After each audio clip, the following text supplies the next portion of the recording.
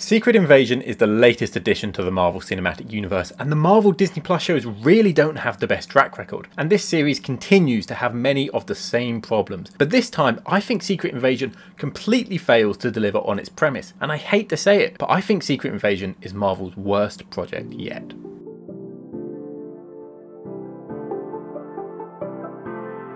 Hello and welcome to Cinemaze, and in this video I'm going to be reviewing Secret Invasion and explaining why I think it's a complete failure of a show. There will be spoilers ahead, but honestly if you haven't seen the show I don't recommend watching it, so really don't worry about spoilers. I come at this as a Marvel fan, not a hater. I want the shows and movies to do well, and on paper Secret Invasion looked like it could be really good, a more mature, grounded story inspired by the spy genre and paranoia thrillers, continuing on from the Skrulls story in Captain Marvel, where they felt a bit wasted, but unfortunately they're even more wasted here. Frustratingly, we've seen a pattern with these Marvel Disney Plus shows. They often have a very strong opening episode which offers us something new with an interesting premise and unique tone. Then the shows tend to meander in the middle, and then they have a strong episode around the three quarter mark, and then they rush the finale with a big out of place CGI fight. The shows often feel too short at only six episodes, and they often don't feel designed the best for TV. It was forgivable for the first few series as Marvel Studios were still learning how to make television shows. However, it's been a few years now and we're still having the same mistakes. And Secret Invasion is as guilty of this as ever, with an intriguing first episode setting the grounded tone and serious stakes, then having a few episodes which were quite boring where nothing really happened, then giving us a much more exciting episode 4 with Rhodey revealed as a Skrull and Talos sacrificing himself for the president, and then nothing really happens in episode 5,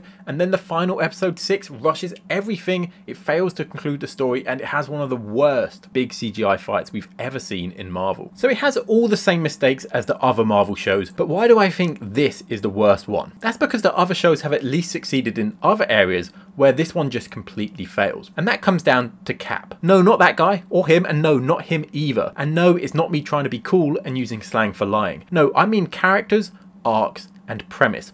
These are the things that I think have made the MCU special throughout phases 1 to 3. We see unique and fun characters that we care about develop over multiple films and it delivers on unique premises and subgenres within the overall superhero genre. While none of the Disney Plus shows are perfect, I think they succeed in delivering on an aspect of Cap, but that's where I think Secret Invasion completely fails on all three areas. Starting with characters, it's the fun and unique characters which have helped Marvel feel fresh for over 10 years now, and Phase 4 of the MCU definitely had its issues, but I do think it succeeded in setting up a bunch of new and interesting characters to continue Marvel's legacy going forward. Moon Knight was a show completely carried by its lead actor and his intriguing character. Ms. Marvel had its issues, sure, but Kamala Khan was a standout from that show with fun, youthful energy, and even She-Hulk was a good interpretation of that comic character. And even outside of the lead actors, the other shows had me excited about the other characters which appeared, like Mobius, Daredevil, Monica Rambeau, Yelena, Zemo, Agatha, Kingpin, and basically every alternate version of a character in What If. And is that not what the point of these shows are? To set up characters that we don't have as much time for in the films to give them more time to shine on the small screen and then to get me excited to see them again when they do appear in films. But the characters in Secret Invasion, they didn't give me this. This wasn't the most interesting version of Nick Fury we've seen. G'iah was set up to be an important character but I really didn't find myself caring about her and who knows if we'll ever see her again. It wasn't the real version of Rhodey so that doesn't make me more interested in his Armor Wars project. The villain ended up being super generic and all I remember about him was his bad Welsh accent. He was intriguing at the start but he ended up being a classic villain with no personality who starts to kill his own people for asking fair questions so any nuance and sympathy for that character is gone. And Talos was one of the more interesting characters and now he's dead. So this show doesn't make me excited for the future prospects of these characters. I'm not more excited for the Marvels because of Nick Fury's role in this show. However, I am more excited for the Marvels because of Ms. Marvel and Monica Rambeau's role in WandaVision. Also, this is nothing against the actors, they were all doing a decent enough job. The standouts were Talos, and the show became way less interesting once he was gone. Don Cheadle was definitely having fun when he was allowed to be a bit more villainous, and Olivia Colman was the standout, really giving an endearing performance without taking away from the serious tone. But they didn't really do anything with her character. And so overall, I think this show just completely fails its characters. And this leads us on to arcs. Remember character arcs? Well, this show doesn't. There's like one and a half character arcs across the entirety of this show, and they aren't particularly effective or interesting. Even though the Loki show really felt like half of a story, it gave us an arc for Loki exploring a second chance for a villainous character. And Clint Barton had an arc throughout Hawkeye exploring the mistakes he's made in his past and how this impacts other people. Even Falcon and the Winter Soldier, where I had major issues with the handling of the arcs still had character arcs in there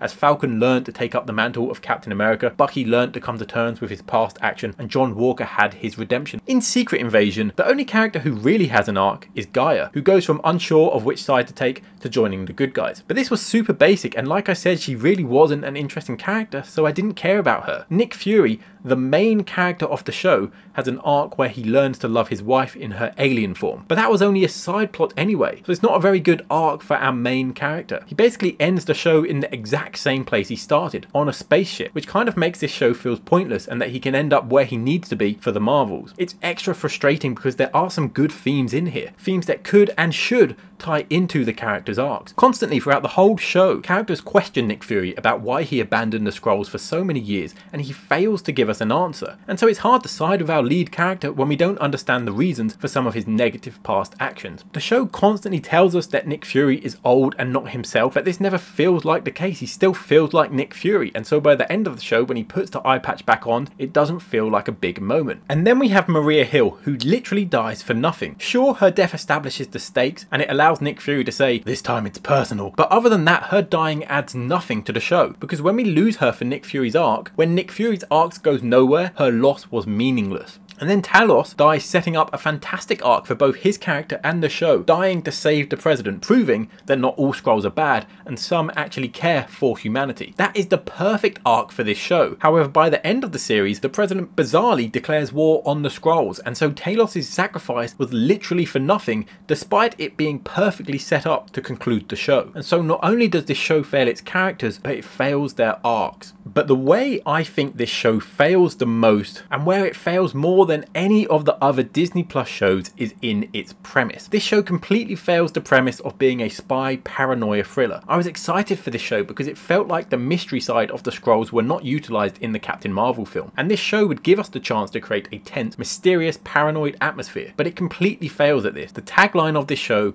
was Who Do You Trust? But I never once questioned that after the first episode. It was always pretty obvious who you can trust. Nick Fury seemed to always know who to trust. No characters ever question if they're in the room with the real version of a character or not. For a show that should be creating paranoia, almost everything felt like it was shown at face value. We should be led to question whether we believe what we see, but 9 times out of 10, what we saw was the real thing. There weren't many secrets in this show. One of them was that Rhodey was a Skrull, which has been theorized by fans for years. And when you only have one Avenger in the show, and it's one whose personality has never really been defined, and the character is quite disposable, it's pretty obvious that he's going to be the infiltrator. And another reveal we have is in the final episode, G'iah is disguised as Nick Fury, which was pretty obvious when G'iah was missing for the entire episode, and Nick Fury is cartoonishly acting like he's affected by radiation. So both twists in this show were painfully obvious. It doesn't help that the Skrulls always used the same face, so there was rarely any question about who the Skrulls were, because we always knew what the Skrulls would look like. I cannot believe how badly this show failed to deliver on its titular secret invasion. Compare this to the other Disney Plus shows. WandaVision did a good job of emulating sitcoms and adding in mysterious Twilight Zone vibes. That series did a better job at the mystery and intrigue than Secret Invasion. Ms. Marvel did a good job of living up to its premise of the family, friends, and cultural life of a high school girl gaining superpowers. Say what you will about She-Hulk, while it does fail at the lore aspect of that show, it does a good job of living up to its premise of fourth wall breaking sitcom about a woman in her 30s balancing her professional and social life while trying to be a superhero. Secret Invasion fails at being a Secret Invasion show, and it fails at just being a show in general, really. Now, up until the finale, the main positives I had about this show were the stakes and the themes. But by the end of the series, even those failed. The stakes. They felt grounded, it felt realistic, it felt serious, and it felt deadly. We knew very clearly who the villains were and what they wanted. A lot of these Marvel Disney Plus shows have obvious villain twists that were revealed way too late into the game, and they often posed little or no danger. And so I loved that the first few episodes of Secret Invasion set up very clear, dangerous threats. And where I thought there were going to be more twists and reveals later on in the show, it was good to make your villains clear early on so that big reveals can be made later in the show, and we don't have to spend time on villain reveals later. However, these reveals never really happened and there was no greater mystery or secret. And where the show was setting up deadly World War stakes, it turned into a tranquilizer fight in a hospital and one of the worst CGI fights we've ever seen. I'm not going to go into that fight too much because everyone has been moaning about it, but we literally get two characters with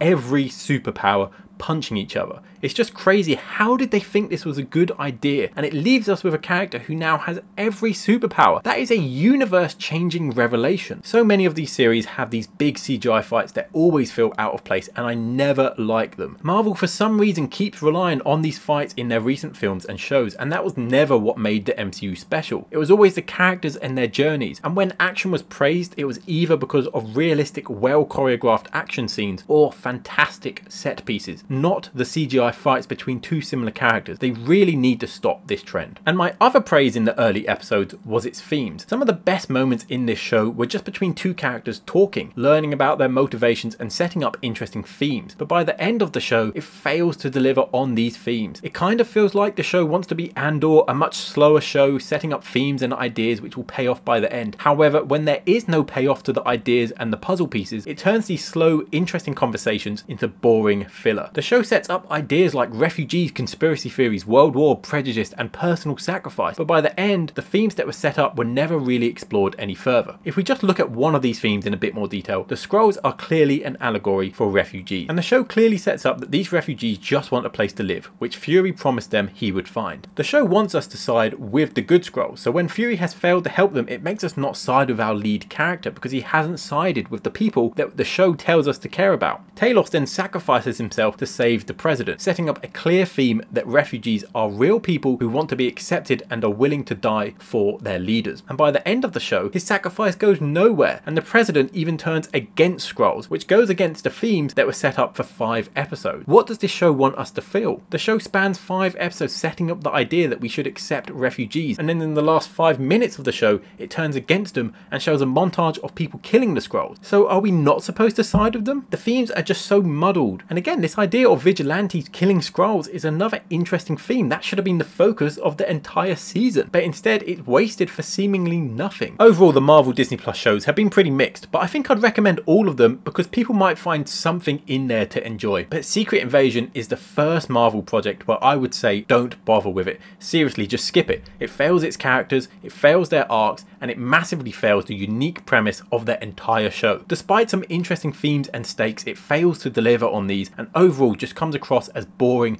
with an awful, and I mean seriously awful, CGI fight. And overall, I think Secret Invasion is the MCU's worst project. I hope you enjoyed this video. Let me know what you thought of Secret Invasion in the comments below. Based on a poll I put on my channel, about 60% of you enjoyed it and 40% didn't. So it seemed like people liked it more than me, but there is still a split there. If you enjoyed this, please like the video. It helps me out so much. Subscribe for more content like this and subscribe to see more polls on my community tab. You can expect content about Marvel, DC, Star Wars, and anything exciting going on in film. So be sure to subscribe for more. But for now, thanks for watching. Cinemaze.